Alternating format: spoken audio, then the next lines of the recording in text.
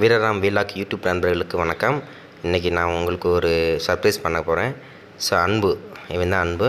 எங்கள் கட்டுத்தரைக்கு வந்த ஒரு நாயகன். ஒரு மாடு எப்படி இருக்கணுன்றதை நான் ஆசைப்பட்டு நான் ட்ரீம் பண்ணி வச்சுருந்த மாடு தான் அந்த மாடு. ஸோ அதாவது ஐ மீன் அந்த குணம் குணத்தை மட்டும்தான். மாடு எப்படி வேணாலும் இருக்கலாம். குணத்தை தான் நான் அந்த அந்த மாதிரி எக்ஸ்பிளைன் பண்ணுறேன் ஏன்னா எங்கள் வீட்டில் வந்து பாரம்பரியமாக எப்பயுமே மாடு வளர்ப்பாங்க. நான் சின்ன வயசாக இருக்கும் போதெல்லாம் பார்த்தீங்கன்னா கட்டுத்தரைக்கு விட மாட்டாங்க. மாடு குத்தி போடுவோம் அப்படின்வாங்க ஏன்னா தோட்டத்துலேருந்து வீட்டுக்கு வீட்டிலேருந்து தோட்டத்துக்கு நடந்து பிடிச்சி போயிட்டு வருவாங்க. அப்போக்குள்ளே வந்து பார்த்தீங்கன்னா ரெண்டு கயிறு இல்லைன்னா மூணு கயிறு தான் மாடே போகும். ஆனால் நான் இப்போ நவ்விய டேஸ் பார்த்தீங்கன்னா மாடுகள் வந்து வாடியில் அவுத்து மாட்டுக்காரங்களே போய் திமில பிடிச்சி நிற்கிறது கழுத்தை பிடிச்சி கயிறு போடுறது. ஸோ இந்த மாதிரி வந்து மாடுகள் வந்து மனிதர்களோட ரொம்ப பழக்க ரொம்ப பழக்கமாயிருச்சு. எக்ஸாம்பிள் நம்மகிட்ட சி இந்த சீனி. சீனிகிட்ட போய் நான் கொம்புல படுத்துக்கிட்டு அவ்வா அவ்வா சாங் பாடினா கூட அது பாட்டுக்கு எனக்கு என் சாங்க்கு தகுந்தபடி ஆட்டிக்கிட்டே இருக்கும். அப்புறம் மர மறைய நான் திமில பிடிச்சி அது பாட்டுக்கு கூட அது அப்படியே நின்றுக்கிட்டே இருக்கும். எனக்கு இந்த மாதிரிலாம் பிடிக்கவே இல்லைங்க. இதை பற்றி நான் பல பேர்த்த நான் டிஸ்கஸ் பண்ணியிருக்கேன். ஏன்னா பழைய மாடுகள் மாறிக்கு இந்த இப்போ இருக்கிற மாடுகளின் வீரம் வீரியம் வந்து ரொம்ப கம்மியாக இருக்குது மாடுகள் வந்து யாரையும் குத்த மாட்டுது. மாட்டுக்காரங்களே பக்கத்தில் போனாலும் வந்து அன்பாக இருக்குது இந்த மாதிரி நானே வந்து பல இடத்துல பேசியிருக்கேன். அப்போ அவங்ககிட்ட என்ன சொல்கிறாங்கன்னா மாட்டுக்கு என்னென்னு தெரியலைங்க. இந்த மாதிரி மனிதர்களிடம் அன்பு தேடுது போல். அது மாதிரி இந்த மாதிரி ஆயிடுச்சு அந்த மாதிரி பல பேர் சொல்லியிருக்காங்க. ஆனால் நான் எதிர்பார்த்தது என்னென்னா ஒரு மாடுன்னா ஆக்ரோஷமாக இருக்கணும். யார் எந்த டைமில் போனாலும் தூக்கி எறியணும். அது மாட்டுக்காரன்னு பார்க்கக்கூடாது எதுவும் பார்க்கக்கூடாது. வாடியில் போய் அவுத்தோம்னா சும்மா விரண்டு விரண்டு குத்திக்கிட்டே இருக்கக்கூடாது. வாடியிலேருந்து வெளியே வரணும் தூக்கி போட்டு ஆள் பிடிச்சாங்க பிடிச்ச ஆளை தூக்கி போட்டு அதோட ரன்னிங்கில் தான் இருக்கணும். இல்லைன்னா அதோட இடத்த காலி பண்ணிட்டு போய்கிட்டே இருக்கணும். சுற்றிக்கிட்டேனாலும் போயிடணும் இடத்த காலி பண்ணாமல் உள்ள கூடாது இந்த இதுதான் என்னுடைய என்னுடைய மைண்ட் தட்டாகவே இருக்குது நம்ம ஒரு மாடு வளர்த்தனா கட்டுத்தரையில் நானே போய் பிடிச்சாலும் குத்தணும். வேறு யார் வந்தாலும் அவங்கள்ட்ட வந்து இதாகவே இருக்கக்கூடாது. எல்லாத்தையும் வெறித்தனமாக தான் இருக்கணும். ஆனால் அந்த மாடு வந்து கண்டுலேருந்து வளர்த்த மாடாக இருக்கணும் அப்படின்னு நான் பல இடங்களில் நான் சொல்லியிருக்கேன். ஸோ அதே மாதிரி தான் அந்த மாடு. அன்பு வந்து பார்த்திங்கன்னா கட்டுத்தரல சரி நான் நினச்ச மாதிரி அப்படியே தான் இருக்குது விளையாடு வந்து பார்த்திங்கன்னா ஒரு பத் என்கிட்டே வந்து ஒரு இருபது இருபத்தஞ்சி வீடியோஸ் வரைக்கும் இருக்குது எல்லா வீடியோஸும் பார்த்தீங்கன்னு வச்சுங்களேன் அன்பு வந்து பயங்கரமாக சுற்றிக்கிட்டே தான் போவான். ஆனால் வந்து ரொம்ப தூரம் சுற்றிக்கிட்டே போக மாட்டேன். அந்த க அவுத்து விட்டு கரெக்டாக ஒரு இரநூறு மீட்டர் வரைக்கும் மா மாடு ராஜாவாக போவான். ஸோ அதான் வந்து வாடிக்கு போட்டால் பஸ் கரெக்டாக இருக்கும்னு சொல்லி தான் இந்த மாடை வந்து நமக்கு எடுத்து கொடுத்தாங்க. ஸோ இந்த மாடு வந்ததுலேருந்து பார்த்தீங்கன்னா ஃபஸ்ட்டு ஒரு டூ டேஸ் தான் வந்து கொஞ்சம் இதாக இருந்துச்சு. அப்புறம் கொஞ்சம் அதாவது ஒருத்தவங்க பிடிக்கிறவங்கள மட்டும் கணிச்சிக்கிருச்சு. ஸோ இவங்க தான் பிடிச்சி கட்டுறாங்க அப்படின்னு என்னையை மட்டும் கணிச்சிக்கிருச்சு. மற்ற எத்தனை பேர் வந்து மாட்டை பிடிச்சி கட்டினாலும் அவங்களாம் பக்கத்திலே விடாது. ஸோ நான் போனால் கொஞ்சம் மாட்டில் சொரிஞ்சு கொடுக்குறது வாழைப்பழம் கொடுக்குறது அந்த மாதிரி மண்டபலம் கொடுக்குறது எல்லாம் கொடுத்ததுனால கொஞ்சம் என்கிட்ட கொஞ்சம் கொஞ்சம் இதாகவே நார்மலாக இருக்கும். மற்றபடி பார்த்திங்கன்னா எல்லாத்தையும் விரட்டி விரட்டி தான் பாயுங்க.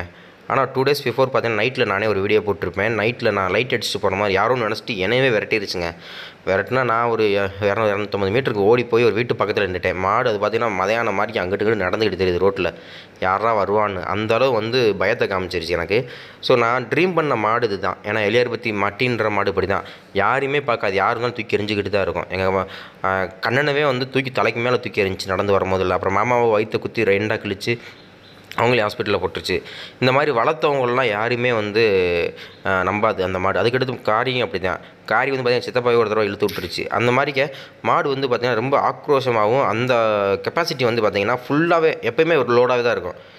அந்த ஒரு சில பேர் சொல்லுவாங்கள்ல இந்த ஜல்லிக்கட்டு டைமில் தான் ரெடி பண்ணுவோம். அப்படிலாம் இல்லை. நம்மக்கிட்ட வந்துருச்சுனாக்காவே வந்து நம்ம மற்றவங்க மாதிரி இந்த தீவனங்கள்லாம் அதிகமாக வைக்க மாட்டோம். எப்போயுமே வந்து நுனிப்புல் மட்டும்தான்.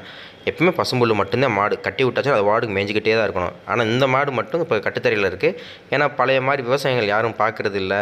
அப்படி புல்லறுத்து போடுறதுக்குன்னு டைமும் இல்லை நமக்கு. ஸோ அதனால இதுக்கு வந்து பார்த்திங்கன்னா வைக்கோல் அப்புறம் தீவனம். மூணு நேரமும் தீவனம் வச்சுருவோங்க. தீவனம் பார்த்தீங்கன்னாக்கா இப்போதைக்கு இந்த மாட்டுக்கு மட்டும்தான் மற்ற மாட்டுக்கெலாம் இல்லை.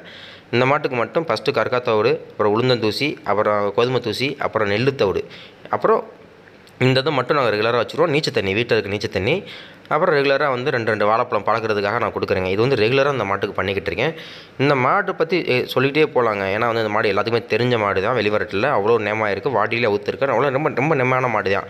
ஏன்னா இப்போ எங்கிட்ட வந்ததுலேருந்து பார்த்தீங்கன்னா இப்போ எங்கிட்டே வந்து ஒரு பத்து பதினஞ்சு பேத்துக்கு மேலே வந்து நல்ல ரேட்டுக்கே கேட்டாங்க.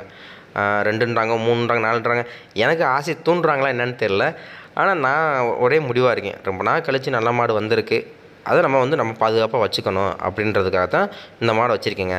ஆனால் ஒவ்வொரு நாளும் கயிறை பிடிச்சிட்டு நான் வந்து மே- மேய்ச்சலுக்கு கட்ட போகும்போதில் பயந்து பயந்து தான் போகிறேன் ரொம்ப பயந்துடுவேன் ஏன்னா விரட்டிடுமா இதாகுமோ? பின்னாடி சின்ன கையில் போட்டு வீச்சு கையில் தான் நான் போவேன்.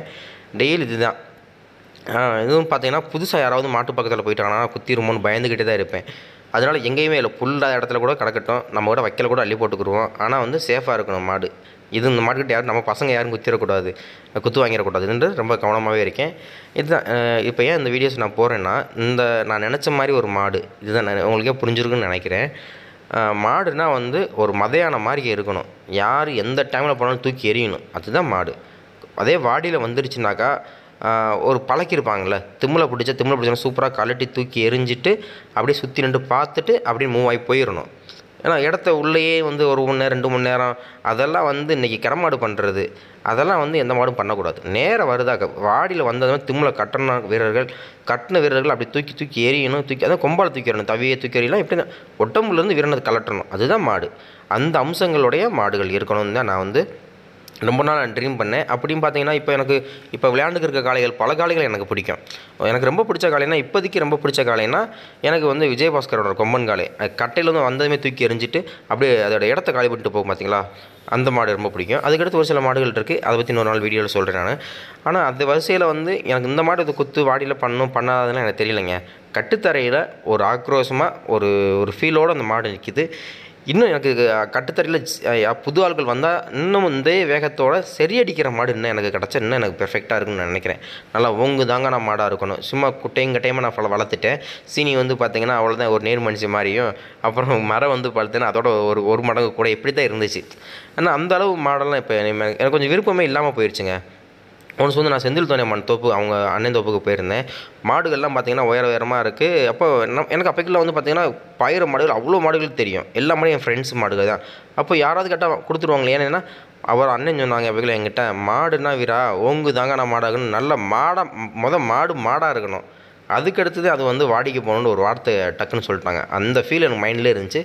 அதனால தான் நானுமே வந்து ரொம்ப நாளாக வந்து தேடிக்கிட்டு இருந்தேன். நல்லா வளர்த்தியான மாடாக நல்ல ஒரு போல்டாக இருக்கணும். காங்கேயம் மாட்டு தரத்துக்காவது இருக்கணும்னு தான் நான் வந்து ரொம்ப நாள் தேடிக்கிட்டு இருந்தேன். அப்படி ஒரு தேடி வந்த காலம் தான் நம்ம அன்பு. அன்பை வந்து இப்போ நம்ம பின்னாடி போய் எவ்வளோ நாள் செஞ்சு கொடுத்துக்கலாம்னு நின்றுக்கிட்டே இருக்குது முன்னாடி போனால் விரட்டிடும் ஆனால் எனக்கு கொஞ்சம் கை பழையிருச்சுங்க கை பழகி ஓரளவு வந்து நான் சொல்கிறதெல்லாம் கேட்குற அளவுக்கும் கூட மாடுகள் அந்த மாடு வந்து புரிஞ்சுக்கிச்சு. இந்த மாடு பற்றி நான் அடுத்தடுத்த வீடியோஸில் நான் அதிகமாக நான் ஷேர் பண்ணுறேன் இந்த மாடை பற்றி அதிகமாக எல்லாத்துக்குமே தெரிஞ்சிருக்குன்னு நினைக்கிறேன். ஆனால் நம்ம கட்டுத்தறிக்கு வந்தது எனக்கு நான் கொடுத்து வச்ச ஒரு பாக்கியம் தான் பல பேர் கேட்குறாங்க கேட்குறவங்களுக்கு ஒரே இதாக தான் நான் பதில். வளர்க்க நினைக்கிறேன். வளர்த்துக்கிறேங்க. இதே பல பேர் பணத்தாசையும் காமிச்சாங்க. நான் அப்போயே என் கூட இருந்தவங்களாம் சொல்லிட்டாங்க. இதை மாத்திர அந்த மாற்றி நல்ல மாடு அந்த மாடு இருக்குது எடுத்துக்கிடுவோம் அப்படின்னு சொன்னாங்க. ஏன்னா எனக்கு விருப்பம் இல்லைங்க. ஏன்னா கட்டுத்தரையில் இப்படி ஒரு மாடு இருக்குன்னு நான் ட்ரீமில் இருந்தேன். அதே போல் அமைஞ்சிருச்சு. நான் அடுத்தடுத்த வீடியோஸில் நான் அடுத்தடுத்த உயிரினங்கள் பற்றியும் அடுத்த மாடுகள் பற்றியும் நான் உங்களுக்கு வீடியோவில் நான் கண்டிப்பாக கண்டிப்பாக நான் கொடுக்குறேன். ஓகேங்களா? இவன் தான் அன்பு. அன்பை பற்றி வீடியோ கேட்டிருந்தீங்க. இன்னும் ஜல்லிக்கட்டில் விளையாண்ட வீடியோஸ் கேட்குறீங்க அது யூடியூப்பில் போட முடியுமான்னு தெரில நான் அது வந்து அதுவும் போட்டு விட்றேன் விளையாடுற வீடியோ எனக்கு கிடச்ச ஒரு அன்பு தான் இது. லவ் மை லவ் அப்படின்னு சொல்கிற அளவுக்கு. இந்த பேர் எப்படி சூஸ் பண்ணோம் இந்த பேர் எப்படி இந்த மாட்டுக்கு வச்சோன்றதை மற்ற இதெல்லாம் நான் உங்களுக்கு எக்ஸ்பிளைன் பண்ணுறேன் வீரராம் வீலாக் யூடியூப் நண்பர்கள் இந்த வீடியோ பார்த்துக்கிட்டு இருந்தீங்கன்னா கண்டிப்பாக மறக்காமல் வந்து சப்ஸ்கிரைப் பண்ணுங்கள் சப்ஸ்கிரைப் பண்ணிவிட்டு இந்த வீடியோஸை உங்கள் ஃப்ரெண்ட்ஸ் எல்லாத்துக்கும் ஷேர் பண்ணுங்கள் என்ன என்னை சுற்றி நடக்கிற நிகழ்வுகளை நான் உங்களுக்கு உடனுக்குடன் நான் அப்டேட் கொடுத்துக்கிட்டே இருக்கேன்.